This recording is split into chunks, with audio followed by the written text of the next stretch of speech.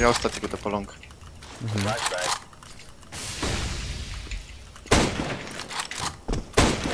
Fuck z głowy. Dokładnie.